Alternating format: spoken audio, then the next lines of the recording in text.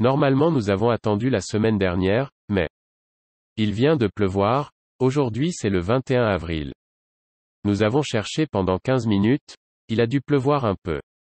Mais la pluie qui est tombée 2-3 jours a mouillé les lieux, le sol est humide, finalement nous avons eu notre part, 2, il se cache ici, nous prendrons ces morilles, comme vous le savez, je vais essayer d'obtenir un mélange liquide à partir de cela.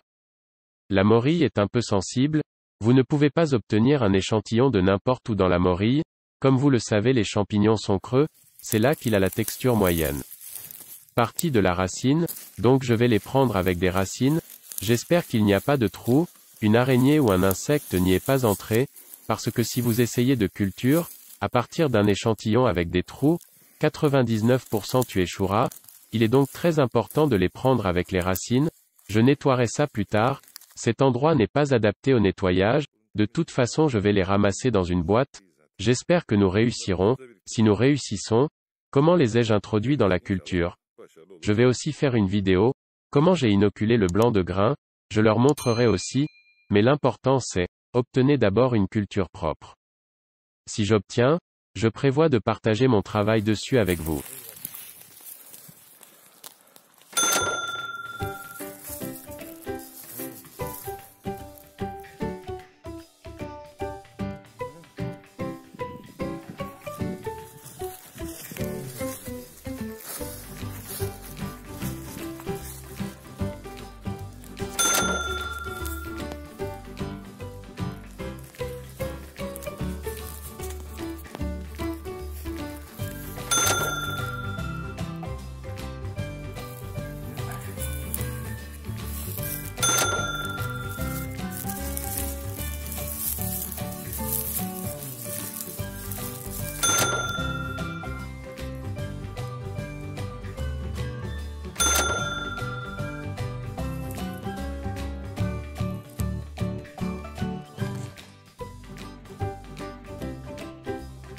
Nous avons trouvé 8 champignons.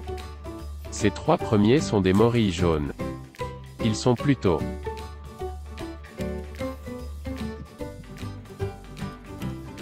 Ces deux morilles noires.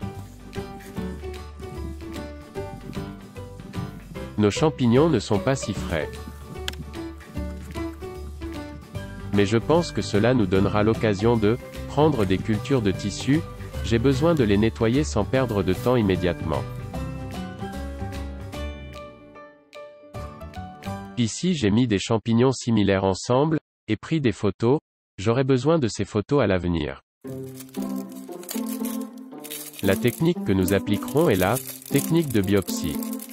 Nous n'avons pas besoin de filtre à air dans cette technique. Nous agirons rapidement. Et nous aurons fini tout de suite. Nous attachons notre aiguille à notre seringue, nous devons puiser du liquide nutritif. Cette aiguille à pointe verte de la main gauche fait 21 gauges, et celui de droite fait 18 gauges. Le diamètre de l'embouchure de la pointe verte, est de 0,8 mm, et 1,2 mm de celui de droite. Il est donc plus facile d'obtenir une culture tissulaire, avec la pointe rose, c'est pourquoi j'utilise ça. Avant de commencer la procédure de biopsie, Prendre un champignon dans la main essayez plusieurs fois avec des aiguilles. Les processus de culture n'acceptent pas les erreurs.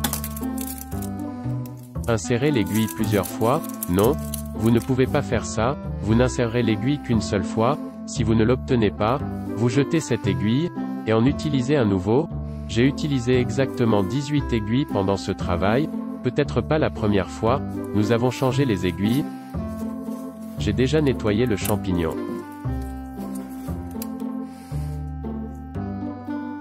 Maintenant où trouver la texture la plus épaisse?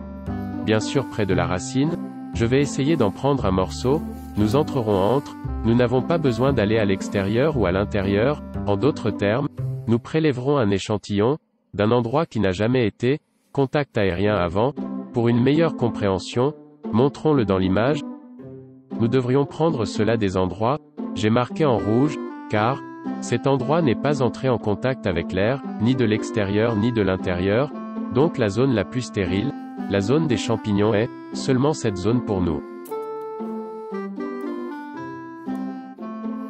On resample et on change l'aiguille, Changeons cette aiguille, l'aiguille peut toucher notre main, notre toucher nos gants, il peut toucher la surface externe ou, la surface extérieure intérieure du champignon, dans ce cas il faut le changer Nocta comme je l'ai dit, j'ai utilisé exactement 18 aiguilles à ce stade. Tu vois les pièces blanches, elles flottent, idem pour l'autre peau, ce sont les cultures de tissu que nous avons prises, avec la technique de la biopsie. Lorsqu'ils sont mélangés quotidiennement, les ifs se forment en une semaine ou deux. Et il y en aura assez pour être vus à l'œil nu, c'est-à-dire que nous aurons un mycélium plus précisément, puis nous les presserons dans une boîte de pétri pour le test, nous verrons la croissance du mycélium s'il y a de la moisissure ou non, nous compterons également les particules étrangères et les bactéries au microscope. L'important ici est de développer le mycélium. Si nous réussissons, nous aurons plus d'études différentes sur les morilles, j'espère les publier. Merci d'avoir regardé. À la prochaine.